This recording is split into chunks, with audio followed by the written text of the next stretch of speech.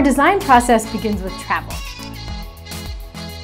In our travels, we may find a cool stitch somewhere, a cool piece of hardware somewhere else, and we take those elements and we take them back and it's the little details that we put into our shoes that make them so special and so unique because we found something cool on a backpack in a city in Europe in a thrift store and that then turns into a, a, new design element or a new buckle or something like that that we put on our shoes. So it's, it's very unique to us and it's not something that you're going to find anywhere else.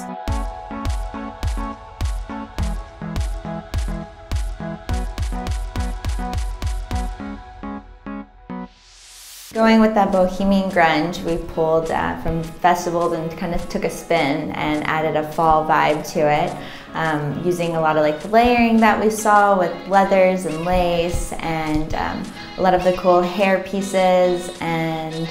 just kind of mixed it in.